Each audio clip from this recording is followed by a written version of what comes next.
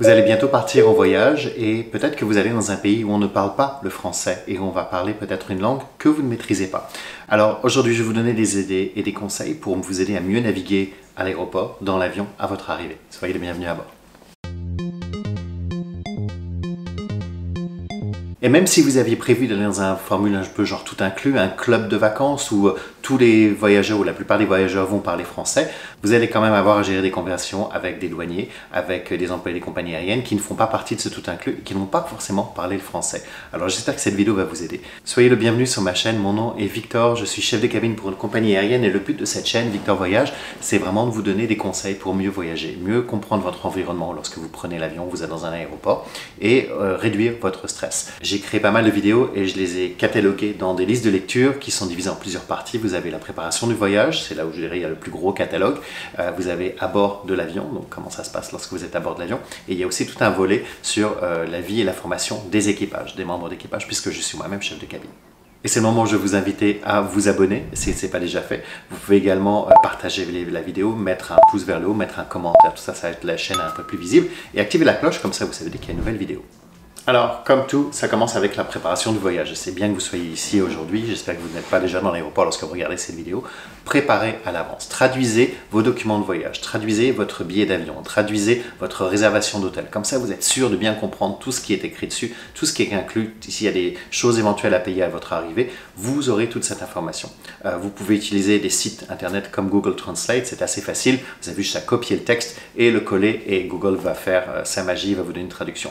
C'est un robot qui traduit, c'est pas aussi bien qu'un humain, mais ça va vous donner en général une information qui est quand même assez fiable. Google Translate maintenant est devenu un, un outil vraiment très très puissant. Et je me suis moi-même retrouvé dans des situations où j'avais beaucoup de mal à me repérer. J'étais une fois à Tokyo, j'avais une réservation pour un capsule hôtel, des hôtels dans des petites capsules, j'allais juste passer une nuit. Et j'ai passé des heures à essayer de trouver où était l'entrée de ce maudit hôtel parce que leur enseigne était juste en japonais. Sauf que moi je ne parle pas le japonais, je ne sais pas lire le japonais et euh, j'avais une traduction, mais j'étais devant euh, un immeuble. Mais en fait, ils avaient juste quatre étages dans une grande tour qui ressemble à une tour au bureau. Je n'avais aucune idée que j'étais devant mon hébergement. J'ai même pris un taxi qui m'a dit Mais t'es arrivé Et c'est lui qui m'a montré la porte d'entrée, qui m'a dit C'est ce signe-là, c'est au troisième étage, tu peux y aller. Donc ayez les documents traduits avec vous, mais préparez-vous aussi à demander de l'aide à des gens euh, sur place. Le deuxième conseil, et je l'ai évoqué tout à l'heure, c'est avoir une, application de traduction. Vous pouvez les installer gratuitement sur votre téléphone. Google Translate est là pour ça. Il y en a d'autres, euh, mais je ne pourrai pas vous en référer parce que j'ai seulement utilisé Google Translate. Le gros avantage, c'est que vous pouvez euh, simplement sélectionner un texte, le copier et le coller dans l'application. Vous aurez la traduction euh, instantanée. Mais Google Translate fonctionne aussi avec des photos. Donc si vous avez un signe, si vous avez une boîte de médicaments, vous voulez traduire, eh bien avant d'acheter le médicament, utilisez Google Translate pour voir si c'est bien un médicament pour le mal de tête et pas un laxatif que vous êtes en train d'acheter. Le troisième outil que je vais vous recommander, c'est un petit cadeau que je vous fais, c'est le guide de traduction que j'ai fait. Si vous me suivez depuis quelques années, j'en ai déjà parlé une fois ou deux, mais euh, si vous êtes nouveau, ça peut être quelque chose qui peut être intéressant, ou pour vous, ou pour quelqu'un de votre, famille qui va voyager bientôt. Donc tout simplement, ce que j'ai fait, j'ai listé toutes les phrases que les passagers vont utiliser régulièrement lorsqu'ils sont dans un aéroport et dans l'avion. Ça commence à l'aéroport, avec le comptoir des ventes. Si vous devez aller changer votre billet d'avion, euh, acheter un surclassement, toutes ces choses-là, ça va être écrit en français, et vous avez la traduction en anglais. Vous avez juste à pointer sur le document quelle est la phrase que vous voulez en français et la personne va l'avoir en anglais juste à côté. Vous avez également la traduction en ce qui concerne l'enregistrement des bagages. Si jamais on commence à vous dire que vous avez un excédent de bagages à payer, la personne pourra le pointer en anglais et vous saurez ce que ça veut dire en français. Vous avez une section sur les douanes et la sécurité, parce que c'est une étape qu'on doit passer. Et puis ensuite, vous avez tout ce qui est embarquement. La partie suivante, c'est à bord de l'avion. Donc, comment demander un café, comment demander une couverture, commander plus de sucre, dire que votre système de divertissement, votre écran ne fonctionne pas. Toutes ces choses-là sont déjà pré-traduites pour vous. Et puis, euh, à votre arrivée, si jamais votre bagage venait à manquer et si vous vous perdez dans l'aéroport, vous aurez des indications sur comment euh, vous pouvoir vous faire aider avec une personne qui ne parle pas le français. Ce guide, c'est un petit document PDF, il n'y a vraiment pas catch, c'est complètement gratuit. Je vous mets le lien dans la barre d'infos. Vous pouvez également aller sur mon site internet victorvoyage.com, c'est très facile c'est écrit là. Et euh, vous allez voir, euh, c'est un, site sur lequel j'écris des billets, des blogs, et euh, ben, vous allez voir, il y a tout un article dessus et vous avez le lien pour pouvoir le télécharger. Je ne l'ai fait qu'en anglais parce que c'est la langue que je maîtrise le mieux en dehors du français. Je parle espagnol mais pas assez bien.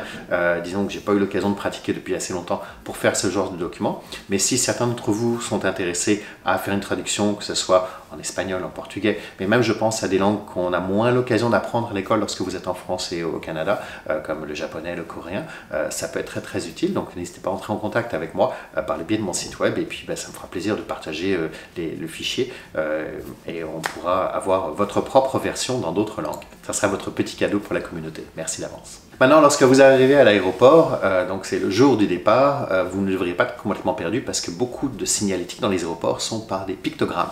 Donc euh, oui, c'est écrit en malaisien, ça va être écrit en anglais éventuellement, ça sera pas en français, mais vous allez voir que le, pictogramme d'information, c'est un petit i dans un rond assez classique, on trouve ça un peu partout sur la planète. Euh, vous allez voir que l'embarquement, ben, vous devez aller à la porte, je sais pas moi, D21, et vous allez avoir une grande flèche qui va vous dire D0 à D45. Ben, vous savez que vous êtes dans la bonne direction, ça va être le bon couloir pour vous diriger vers la porte d'embarquement. Beaucoup de choses sont avec des pictogrammes classiques comme les toilettes, les sorties, les entrées, les, les sens interdits, toutes ces choses-là. Donc vous devriez quand même être capable de naviguer un petit peu. Également, le personnel de l'aéroport est très souvent multilingue. Donc, euh, vous attendez parce que tout le monde parle le français, surtout si vous êtes dans un pays en Asie. Euh, mais au moins, ils vont être capables de communiquer en anglais. Donc, si vous avez, des notions en anglais, vous pourrez trouver une langue commune pour pouvoir communiquer. Euh, mais une fois de plus, vous avez toujours mon guide qui est là pour vous aider si vous avez besoin.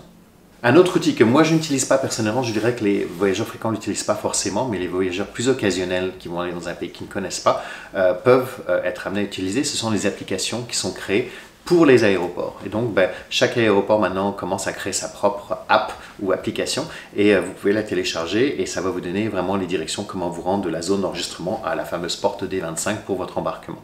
Quels sont les magasins que vous allez trouver sur le chemin, où est-ce que vous pouvez vous restaurer, où sont les toilettes? Comme ça, sans avoir le stress, vous avez tout dans votre poche. Une autre application que vous pouvez télécharger qui va comprendre beaucoup d'aéroports en une seule application, c'est l'application Tripit. Euh, j'ai déjà parlé de Tripit parce que j'utilise cette application pas pour me diriger dans l'aéroport mais pour garder mon itinéraire de voyage. Euh, elle est gratuite, euh, je ne suis pas commandité pour vous en parler, mais je vous la conseille, je vous mets également le lien dans la barre d'infos. mais elle va avoir peut-être moins détaillé que l'application spécifique de l'aéroport, mais quand même les informations assez générales pour vous aider à vous guider. Maintenant, on est à bord de l'avion. Euh, il faut savoir que tous les membres d'équipage ne vont pas forcément parler la langue de destination. Je vous donne un exemple. Euh, moi, dans le pays où je suis, c'est un pays anglophone.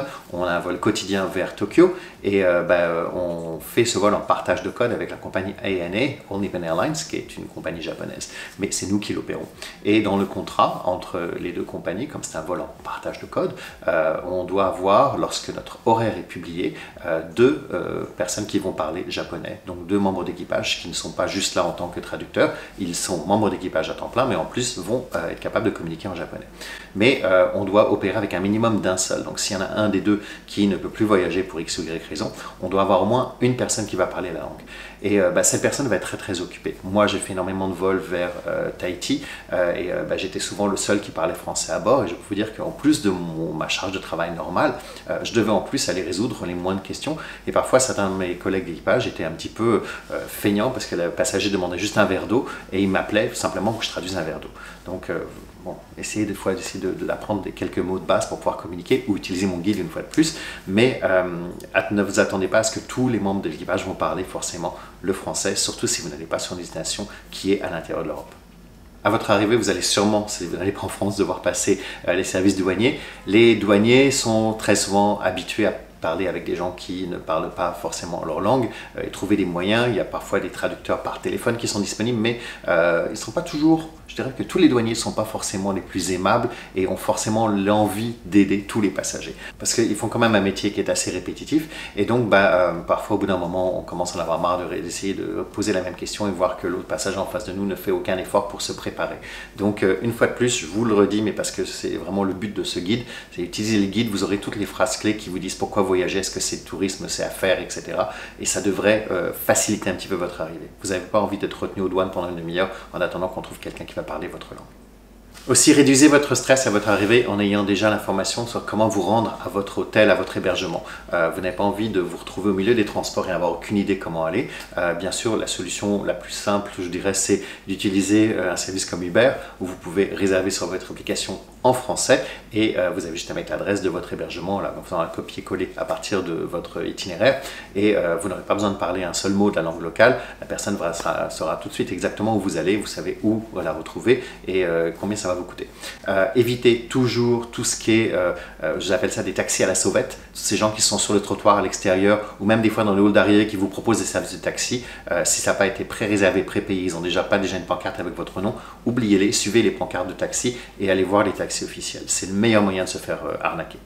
Avant-dernier point, gérer les imprévus. Vous pourriez être amené à avoir des soucis lors de votre arrivée, des choses qui sont imprévues. Donc, ayez tous les numéros de téléphone importants déjà dans votre téléphone et je vous dirais, envoyez-vous un email à vous-même avec ces numéros. Ça fait que si votre téléphone venait être volé, ben, vous pourriez trouver un moyen d'accéder quand même aux emails avec un ordinateur ou le téléphone de quelqu'un d'autre et ensuite euh, avoir quand même toutes ces informations.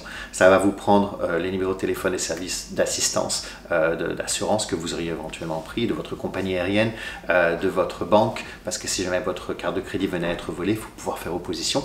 Et souvent les numéros 0800 ou numéros verts qui sont au dos de votre carte de crédit ne sont pas accessibles de l'étranger. Prend un numéro international, donc plus 33 si vous êtes en France, plus 1 quelque chose si vous êtes au Canada. Donc euh, demandez-les à votre banque. Des fois c'est écrit simplement au dos de votre carte, mais euh, si vous ne l'avez pas, contactez votre banque avant votre départ. Vous n'avez pas envie de vous retrouver, essayer de faire opposition sur une carte sans avoir les informations nécessaires.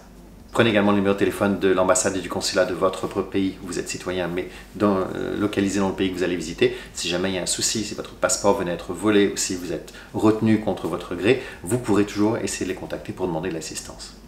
Et puis, euh, je dirais pour conclure, euh, restez calme. Euh, vous n'êtes pas là pour être stressé.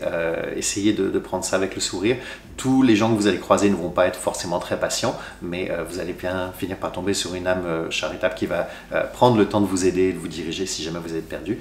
mais essayez de mettre du vôtre aussi un petit peu en arrivant avec le sourire, en n'assumant pas que la personne va forcément parler le français ou l'anglais, surtout si vous êtes dans un pays asiatique. Ça, ça c'est rarement le cas, c'est beaucoup moins souvent le cas, je dirais. Euh, et puis apprenez quelques mots de la langue locale avant de partir. Que ce serait-ce que bonjour, merci, s'il vous plaît, au revoir, ce sont des mots tout basiques. Mais si vous commencez une phrase, si vous êtes dans la rue et que quelqu'un vous approche en disant bonjour, Tour Eiffel, ben, on aura peut-être plus envie d'aider ces personnes que si la personne arrive. Where's the Eiffel Tower? Euh, parce que ben, vous vous dire, ben, est-ce que tu sais que je parle anglais? Je ne parle pas. Euh, et puis vous les envoyez promener. Donc si vous approchez quelqu'un euh, en disant dans la langue locale bonjour et s'il vous plaît, ben, vous aurez plus de chances à ce qu'on ait envie de vous aider que si vous, arrivez en terrain conquis, je dirais. Et c'est ainsi que se termine cette vidéo. Je vous remercie d'être resté avec moi jusqu'à la fin. Je vous l'ai dit, euh, ce guide, il est complètement gratuit. Je vous mets le lien en bas, sinon victorvoyage.com. Et si vous avez envie de m'aider euh, et d'offrir une traduction dans d'autres langues, contactez-moi sur mon site web victorvoyage.com. Il y a un petit bouton pour me contacter directement et vous pourrez m'envoyer un courriel. Et surtout, n'hésitez pas à partager vos propres expériences de voyage dans les barres de commentaires. C'est toujours euh, intéressant de voir quelles sont vos aventures. Sur ce, je vous souhaite une excellente semaine et on se retrouve la semaine prochaine. Salut